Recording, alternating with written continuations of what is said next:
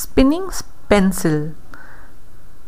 এটা একটা ভারী মজার জিনিস, এর জন্য কিছু ম্যাগনেট লাগবে আর কিছু এই যা টুকিটাকি দেখছ এই সব দিয়ে একটা সুন্দর স্ট্যান্ডিং স্পিনিং পেন্সিল আমরা বানাবো। প্রথমে এই চৌকো কেটে একটা রাবারের সোল থেকে কাটা তিন তিনটে জায়গায় তিনটে ফুটো করো এবং সেখানে ইকুইল্যাটারাল ট্রায়াঙ্গেল মেপে সেখানে তিনটে তিনটে কোনায় তিনটে ফুটো করে তিনটে স্টিক লাগিয়ে দাও। তারপর মাঝখানে ফেভিবন দিয়ে একটা এক টাকার, এক পয়সার এক টাকার কয়েন ছিটিয়ে দাও। যেমন দেখছ সেরকমভাবে আরেকটা স্পঞ্জের শিট কেটে ওই ইকুইল্যাটারাল ট্রায়াঙ্গেলের মাপে ওপরে আবার তিনটে ফুটো করে এটাকে ফিক্স করে দাও স্টিক দুটো, তিনটেকে। তারপরে চারটে ম্যাগনেট নাও এবং এই ম্যাগনেটগুলো এমন হবে যাতে তিনটে যে বাইরের দিকে আছে সেগুলো যেন রিপেল করে।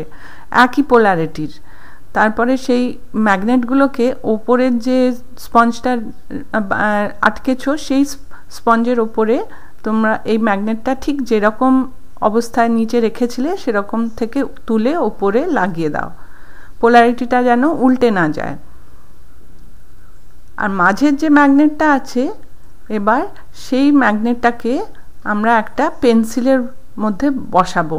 এমন একটা সাইজের পেন্সিল নেব যাতে ম্যাগনেটটা ঠিক আটভাবে সেখানে বসে যায়।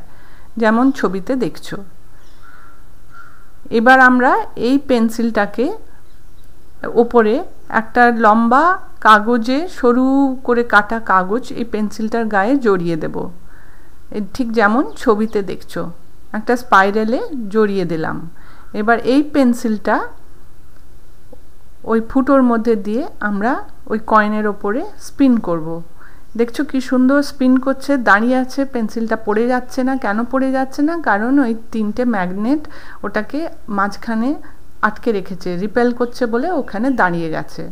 এবার আমরা একটা ফ্যান বানাবো, কাগজ দিয়ে। সেই ফ্যানটা একটা আলপিন ব্যবহার করে পেন্সিলের পেছনে ইরেজারে আটকে দেব।